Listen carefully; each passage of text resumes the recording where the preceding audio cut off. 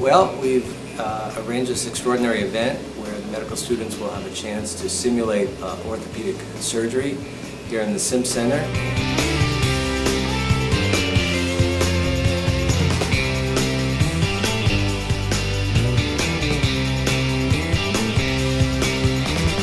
We're doing a total knee replacement on sawbones here in this room and uh, trauma applications, including fixation of multiple fractures in the uh, trauma room next door.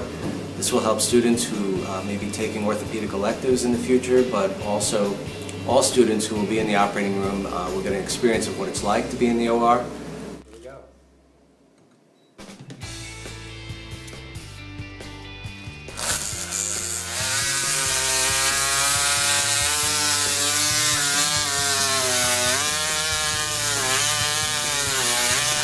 I mean, the, the College of Medicine and everyone who's involved in this event has been so supportive.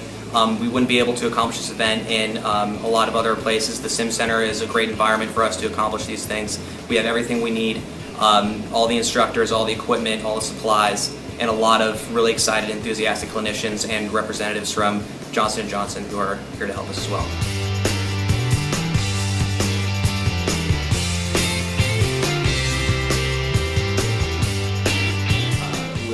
Becoming a little more progressive with uh, simulation techniques, and this university in particular has uh, a great center to, to uh, use these techniques. This typical lab we're doing would be set up for residents in orthopedic residency for the most part, and also orthopedic surgeons in training. So this is a, a new and uh, progressive experiment with medical students, although I can tell from the corporate sponsors. Uh, in this case, I should mention Johnson & Johnson is, is arranging this and bringing the supplies in, and we thank them.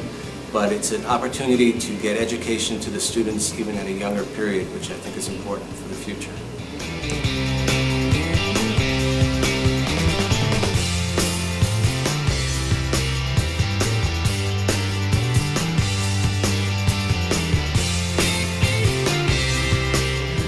During this event? Hopefully, we won't lose any limbs, but uh, there's no guarantees.